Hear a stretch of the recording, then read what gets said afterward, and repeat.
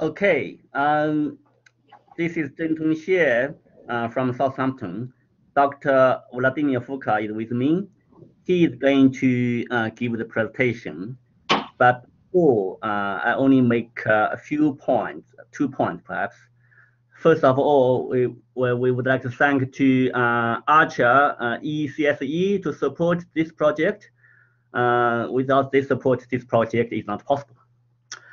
Secondly, um, this work has been uh, present in a few conferences and workshops.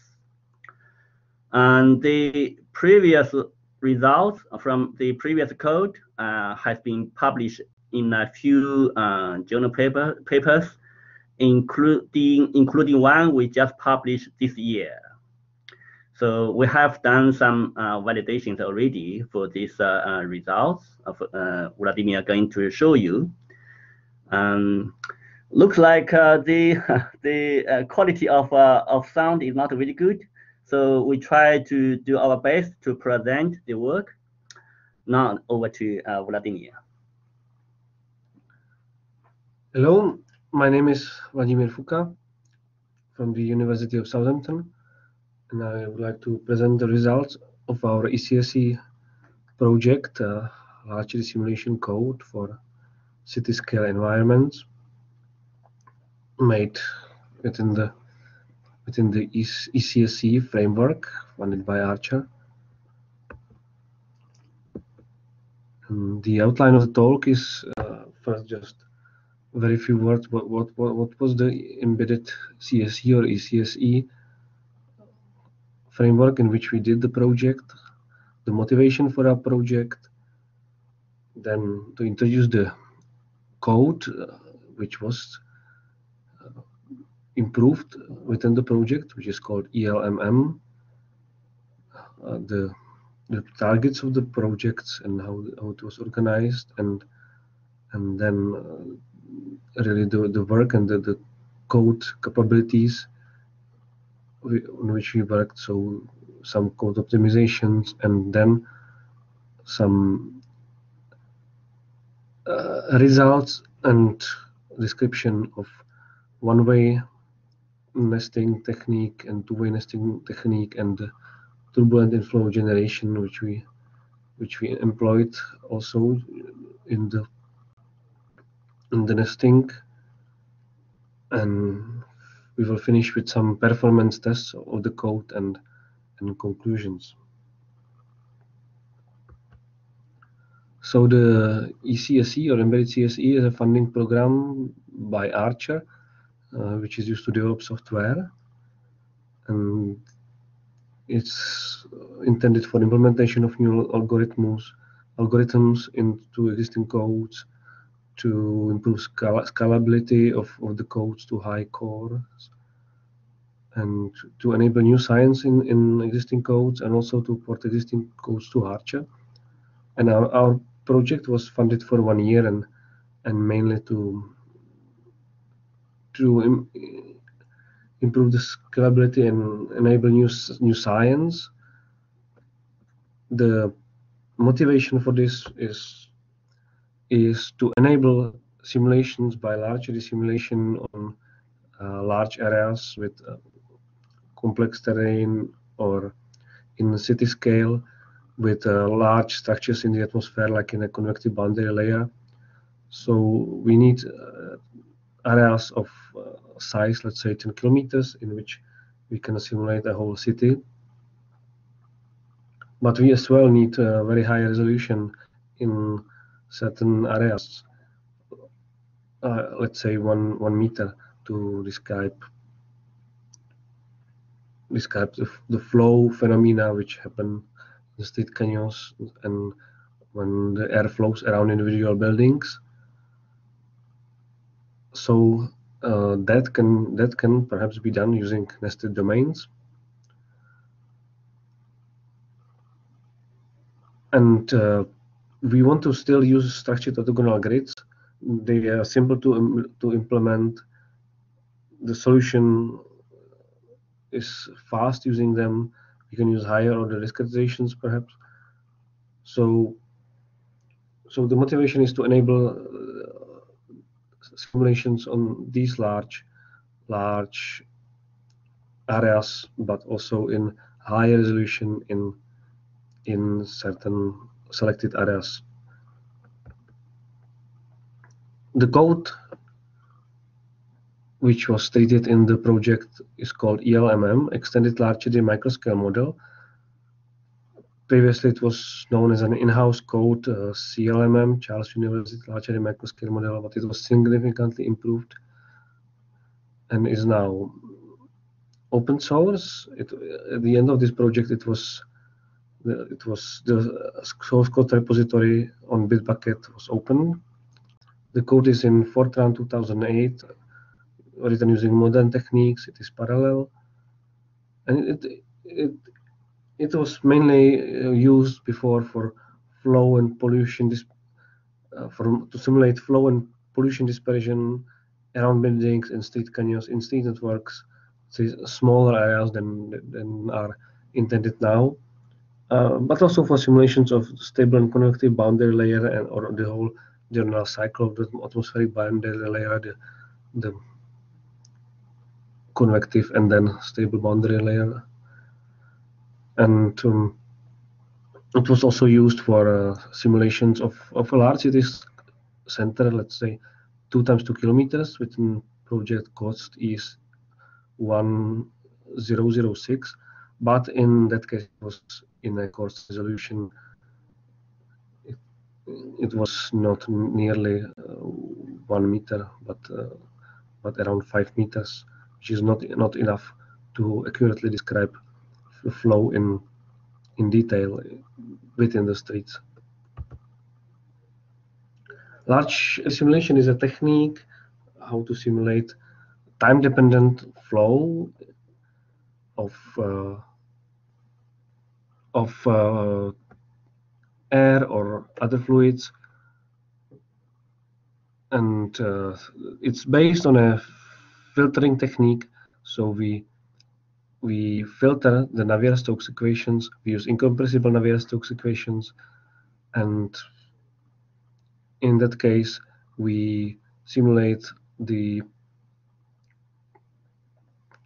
we simulate the the equations on a finite grid, and because we can describe only certain certain scales in the in the flow, only only eddies of certain size. We have to use models how to how to simulate how to model the influence of these small small scales. We in this case use a simple eddy viscosity model. That means we add another viscosity to our to our equations is the new SGS, the eddy viscosity and this viscosity must be modeled by by certain models. There are many many types of models which can be employed, and several of them are implemented in in our code. These the equations which are shown are uh, quite simplified because we also have passive scalars, the fields of temperature or the water vapor also in the model. The numerical methods in the code include the, uh, the projection method for pressure velocity coupling, which connects the, the continu continuity equation and the momentum equation, the temporal evolution by third order explicit Runge-Kutta method, uh, second order central differences for special discretization for special derivatives, subgrid models, several of them used, and also immersed boundary method to to describe obstacles because we have uniform grid in our code. Very important part of the code is the Poisson solver. It um, because we have to solve a pressure Poisson equation shown shown here. This is an expensive step, but it enables us to use the incompressible Navier-Stokes equations, which are much much uh, cheaper to use than the fully compressible Navier-Stokes equations. There are many methods available for simulation of, for solution of uh, the Poisson equations. ELMM uses method based on fast Fourier transforms, which are very fast, especially on uniform grid. And uh, there is a library called PoisFFT, which is which is uh, part of ELMM. It's it's it has a separate repository, but it, it's a part of ELMM, and it's based on the well-known FFTW library, FFT FFTW library for fast Fourier transforms. It was described in a paper cited here. It allows several types of boundary conditions for for the pseudo pressure variable and some of, only some of them are used within ELM but but more are available in in the in the solver. It's written again in Fortran, but uh, bindings for C and C++ are available. In used uh, the very common FFTW library, which is available on Archer and in many Linux distributions. And uh, at the start of the project, it was uh, parallel using OpenMP or MPI, but not both at the same time. Uh, and the MPI version version actually requires another library, which which uh, brings 2D decomposition to the fast Fourier transforms and thus enables solution with very high CPU numbers. The author of this library demonstrated the scaling up to 262,000 cores on, on Blue Gene computer. So the targets of this project were,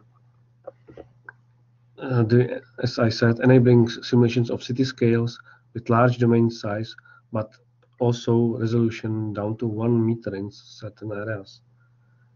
We had two work packages and one was devoted to optimization and hybrid parallelization of the core to increase the serial performance of the of the code on, on one node, optimizations of the MPI communications, and to implement the hybrid OpenMP MPI parallelism. And second work package was devoted to to implement one-way and two-way nesting techniques to be able to concentrate with high resolution in certain areas. So in work package one, it was mostly boring technical work. Uh, certain subroutines, uh, mainly it was uh, certain loop loop optimizations, OpenMP optimizations with the collapse clause and similar techniques. Important optimizations was the MPI exchange of the ghost cells between neighboring processes because every process is only a part of the grid and always have to exchange the boundary conditions with its neighbors. So this was rewritten using non-blocking MPI communications. And uh, our test shows that on one node on Archer, the speed up was around 20%. And also, the existing OpenMP and MPI parallelization was combined into a, into the hybrid OpenMP MPI parallelization technique.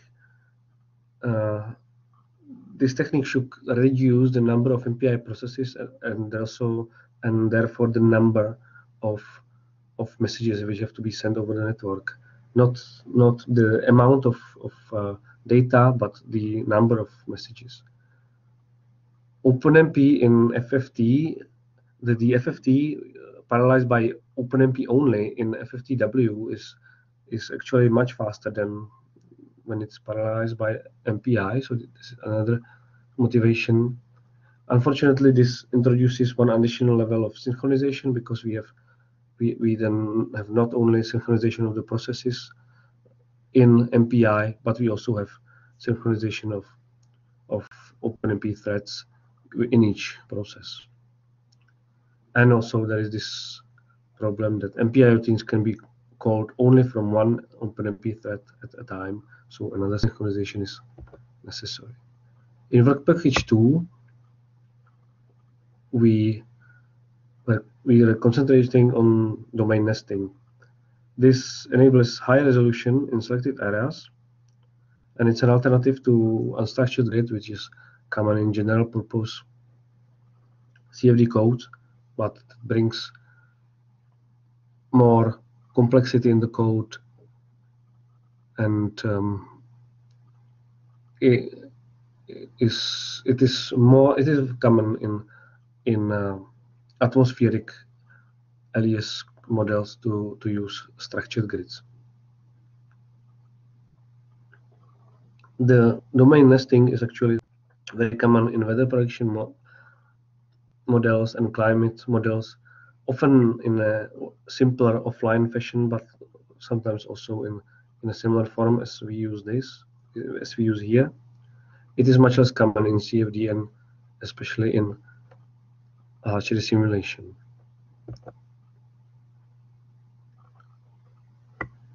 So in in um, one way domain nesting, we have uh, these separate domains which are which are separate um, separate model runs, just really isolated set of processors as in ordin in an ordinary model runs.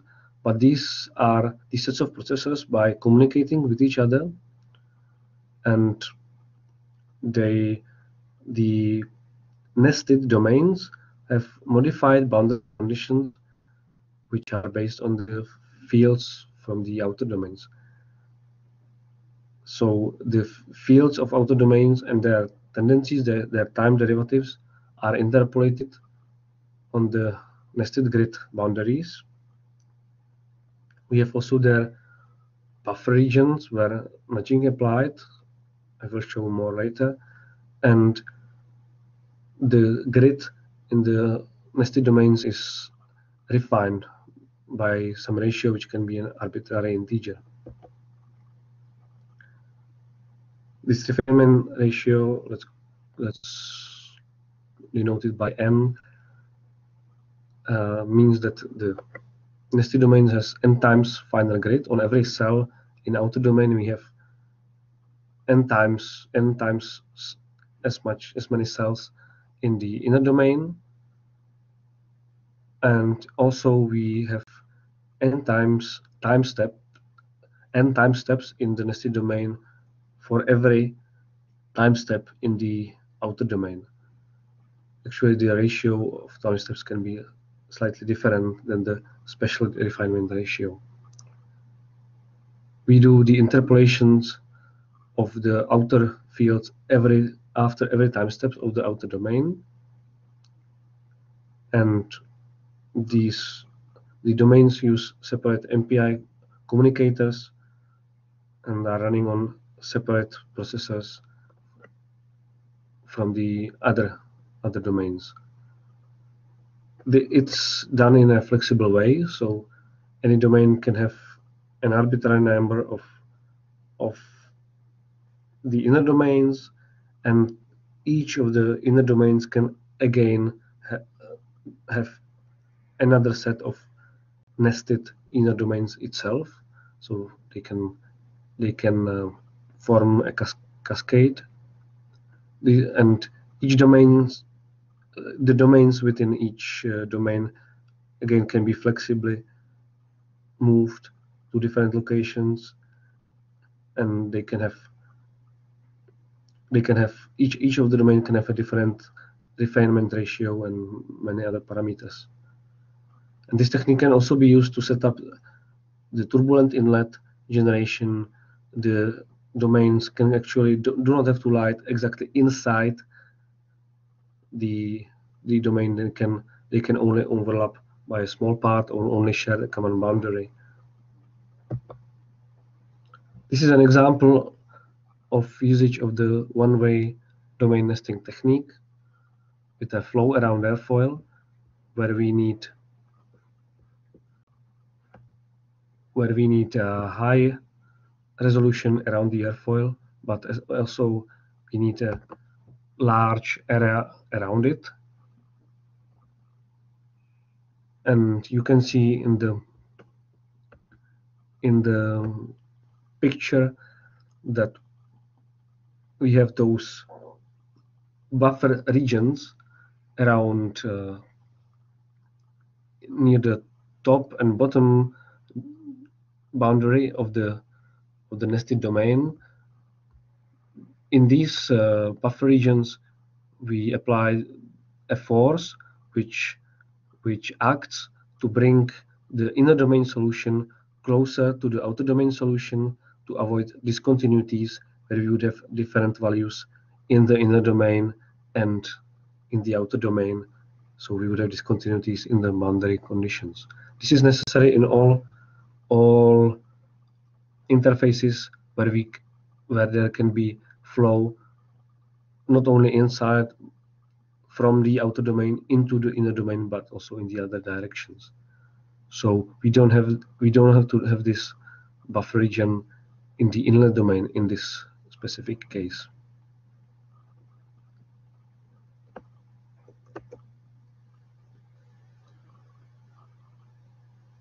When we use this technique the, the most common way how to do this is just straightforward uh, interpolation with a small grid uh, refinement ratio, let's say three or less. But we want to be able to use larger larger numbers, five or even ten. There is a problem because for if if we if the finer domain is significantly has a significantly finer grid than the outer domain, then it resolves much smaller scales than the outer scales. So the the flow interpolated from the outer domain into the inner domain is missing certain scales, certain part of the turbulent kinetic energy spectrum, and this uh, missing turbulent energy can be quite significant. It doesn't have to be negligible, and it can affect affect the the flow in the nested domain. We can see uh, in the in the figure idealized difference between the nested and outer domain and the and the missing part of the of the spectrum one one way how to treat this is inflow turbulence generation. It's a well-established technique to generate synthetic turbulence inflow in LES, usually to to generate the whole turbulent inflow on the inflow boundary to, to an ordinary simulation uh, simulation it's based on uh, random numbers and filtering of these of these numbers to achieve prescribed uh, turbulent kinetic energy the the variance of individual fluctuations in individual directions and also the correlations special correlations and temporal correlations. That means the the integral lengths and time scales of the of the generated turbulence. But here, in our case, we only generate the missing part of the spectrum. That means only the turbulent eddies, which are smaller than the grid of the outer domain. We estimated the, the missing TKE the outer outer field, outer the field which we see on the on the grid of the outer domain. This uh, there are other techniques how we can do it. We could also use uh, one equation kinetic energy, subgrid kinetic energy based model, and directly use the the subgrid kinetic energy variable. But this is one of the options how to use how to approximate this variable we will show uh, the usage of this technique on a test case with one-way nesting in a simple half channel, uh, simple turbulent boundary layer on, on over a rough surface. We have periodic boundary conditions for the outer domain, but the inner domain uses, of course, the nesting boundary conditions. The refinement ratio here is 5. The resolution is quite coarse it because this case is just an illustration.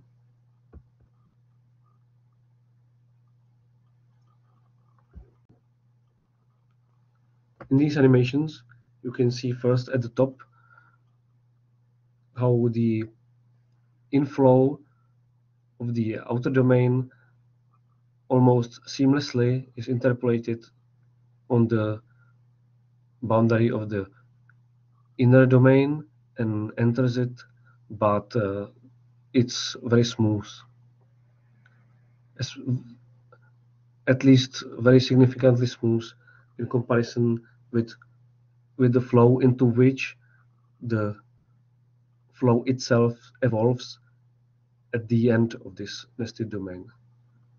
And the turbulence generation remove, removes the smoothness.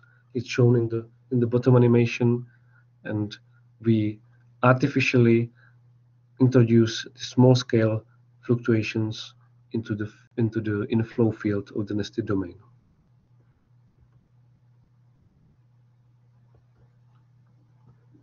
And to show show this even a little bit more detail, we have here the spectra of uh, the u velocity component, the streamwise velocity component in three locations close to the inlet, let's say in one third of the domain and close to the outlet of the inner domain. And you can you can notice that in the inner domain, the green line is close, very close to the red line. The red line is uh, the spectrum computed from the time series of the of the taken from the from the fields from the outer domain coarse grid and the the green line is taken from the upper from from the from the domain which was shown in the previous slides on the top where no turbulence generator is used and the blue line is uh, from the domain where we use the synthetic turbulence generator. You can see that there is a very big difference in the high end of the spectrum. As we move uh, towards in the streamwise direction towards the end of the domain, the green line, the green spectrum is coming closer to the blue one. It's naturally developing towards a broader spectrum of turbulence, but it takes significant significant amount of, of distance to develop.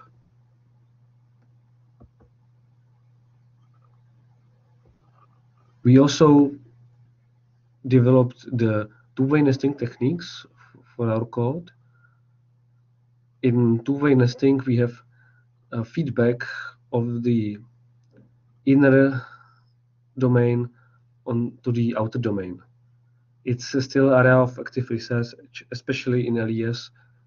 It is not that clear uh, how exactly it will influence the accuracy of the, especially the outer outer domain fields. In our code, is especially useful when we combine it with uh, with a scalar dispersion from a scalar source, which is located in the inner domain. Um, it's implemented such that after the momentum equation is solved, uh, the uh, after the momentum equation is solved in both domains, the inner domain solution is filtered onto a coarse grid of the outer domain, sent to the outer domain, and the outer domain replaces fields in, in its own grid with those values which were received from the inner domain. And then it performs the pressure correction, solves the Poisson equation, and so on. We want to illustrate this technique on uh, one test case which uh, uses pollution, pollution dispersion, a dangerous gas from a small scalar source, and therefore we want to have high resolution close to this source to to be able to accurately compute the dispersion of the gas from the source in very close to the source. But we also want to be able to compute a larger area where, where this uh, dangerous substance can can be transported and and therefore we must we must have a larger domain in this setup we tried three domains. Domain 2 is immersed in domain 1 and domain 3 is nested into domain 2. In both cases, the refinement ratio is 2 and in both cases we have the two-way nesting. In domain 1 to domain 2 and as well in domain 2 to domain 3 both use the two-way nesting.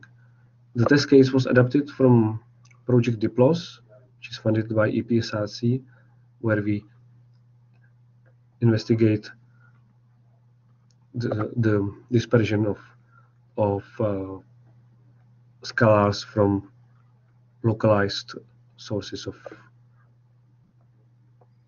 in inside street street canyons. So in this case, we used this periodic array of uh, buildings and the periodic conditions in the outer domain for the flow were periodic. Of course, then there were nesting boundary conditions in the in the in the inner domains. The source is located in the center of the innermost domain when the where the arrow is pointing and the animation shows concentrations on plane z equal one half of h, where h is the building height. All buildings have the same height, so this animation is at the half of the height of the buildings. If we wanted to solve the whole domain in the full resolution which we used in, in the innermost domain, you would need 113 millions of cells. While in this way we only need in total 2.3 million of cells. So we save uh, a factor of 50 and this enables to, to simulate this problem with much smaller resources.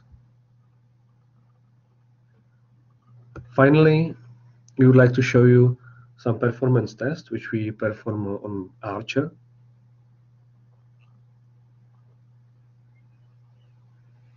First, the so-called strong scaling. The strong scaling is done by increasing the number of processors with a constant problem. So we have one specific problem, one specific setup, and we increase the number of processors which we need, which we use to for solution of this problem. Ideally, the time required for the solution should uh, decrease linearly with the number of processors. Ideally, with two times as many CPU cores, we would want half the time required for the solution. Whether this will happen or not depends on many factors, especially on the problems problem size, because the the larger the problem is, especially in when it comes to the size of the of the grid, it is usually easier to continue to scale well for larger number of, of CPUs. Our chosen problem is again derived from the Diplos building array, which we just have shown. And the domain is actually one half of, of the array which was used in the previous case, but, but it, it's completely in the high resolution. So the grid has 56.6 million cells, which is still a moderate grid. And for simulating uh, whole cities, cities, we need more. But but uh, not. Uh, it's it's still a good approximation how uh, an outer domain of a city scale simulation might look like. The boundary conditions have turbulent, we have used a turbulent inflow generator to generate the whole inflow in the of the of the domain and we have a free slip boundary on the sides of the bound of, of the domain and on the top do, top top surface of the domains. We don't use any nesting in this in this uh, case, and the boundary conditions were selected for for this reason because in this case we use the it as the, the simplest configuration of the Poisson solver because all boundary conditions for the Poisson solver are the same in this case and the whole work in the Poisson solver is done in the third-party li library called PFFT, which I introduced in previous slides. So this is the result of the strong scaling in this particular case. It may be uh, difficult to uh, to identify the the lines in this figure the top figure, the top line in each figure is always the total wall clock time used for the simulation. The line with open squares is the time taken by the Poisson solver itself, uh, on, only by the Poisson solver. And the the final line with with solid full squares is the difference of these two. So it is the time spent in in the dynamic core of ELMM itself.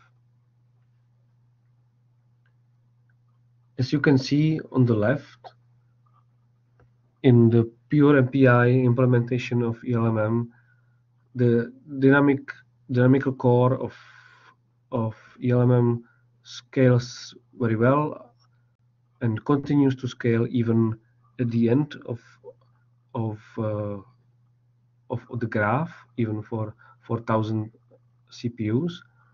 But uh, the Poisson solver stops to scale around 1,000 CPUs in this case. On the right-hand figure, you can see the hybrid MPI OpenMP implementation.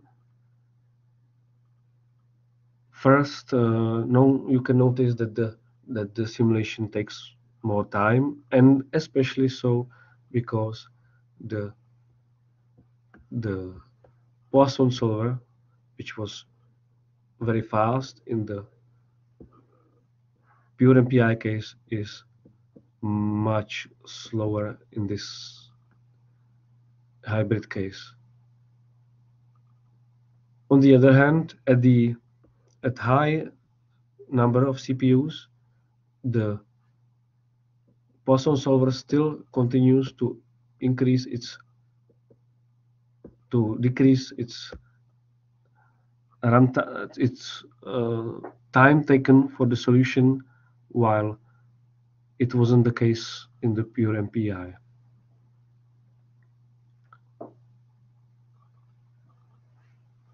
So now the question is why why the Poisson solver stops scaling so so early it is not completely clear because most of the time is really spent in this library called PFFT, which calls the the FFTW library for fast Fourier transforms. And the author of this uh, library was before able to demonstrate scaling to much larger number of cores. It may be connected with the exact size of the domain or with the with the configuration on, on a different computer. It's still not clear to us. Another test was the weak scaling. And this uh, weak scaling is done in the way that we keep the number of grid cells for each processors and with increasing the number of processors used we uh, increase the problem the size of our problem. Doesn't mean that uh, the the one core has always this the same shape of the of the domain but at least the number of size uh, the number of cells. We use the same boundary conditions as in the previous case. And and on one archer node the domain had 886,000 of cells. And on two nodes it has two times as much and so on. We must uh, we must uh, be aware of the fact that the fast Fourier transforms computational complexity grows with n times logarithm of n, where n is the number of of cells. So we cannot expect that that the solution time will be constant when we increase the number number of processes. Instead, the graph of the time taken by the Poisson solver should be linear. Still, it is not not completely linear, but uh, at least uh, close to it in, uh, for a smaller number of CPUs. Then it's it's uh, turning faster. If this code is flatter, this is it is better for us. That's the case of the hybrid implementation, at least in the in the first part of the graph. But again, you can notice that uh, for for one node, the Poisson solver is significantly slower for the hybrid case than for the for the pure MPI case. Especially in the pure MPI case, the time taken by the dynamical core of ELMM itself is almost constant, and we would expect this to scale to much larger number of, of CPUs. So the, the bottleneck in this part is again the Poisson solver.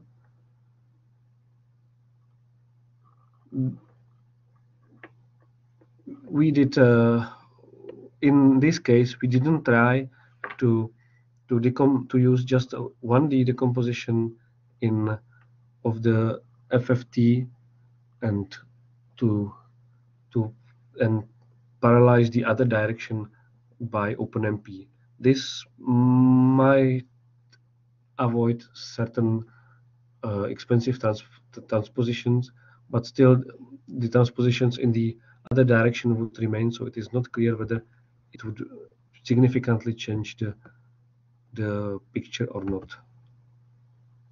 Finally, we come to the conclusions of this talk. The capabilities of the code were greatly enhanced and the code is now released as open source. The code is hosted as a Git repository on Bitbucket.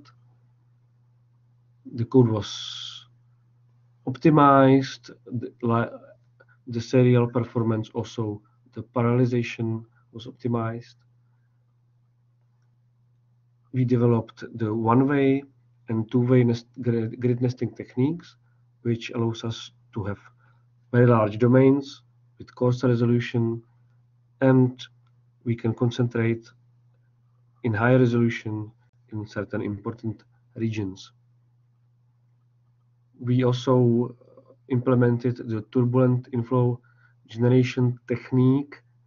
It, it has been it was already in the code, but we implemented its use usage on the nesting nesting boundaries to to generate the missing part of the spectrum from the outer domain, from the coarse domain. We still know, note the problems with the performance of the Poisson solver at high numbers of CPUs. It is not entirely clear why the underlying library doesn't scale that much as, as was demonstrated by the author of this library in some other cases. And it still will be investigated and uh, ELMM is easy to compile on Archer, can be easily downloaded, and the build scripts are aware of Archer specifics, just uh, certain arguments of the make commands must be must be set, and that's the end of my talk. Thank you for your attention. We welcome any questions. Thank you very much for that. That was very interesting. Um, if anybody has any questions, please could they uh, raise their, click their hand and, and uh, open their audio? No? Okay, well, thank you very much. Um, I'd like to thank our speakers very much for what was a very interesting talk. It's always nice to hear what's actually going on with inside one of the ECSE projects. Um, and thank you all for joining and listening. But thank you again for your presentation and thank you for joining. Bye now. Thank you for, for the opportunity to present our work and also thank all the audience for, for listening to us and following the presentation. Excellent. Thank you very much. Bye. Bye. Goodbye.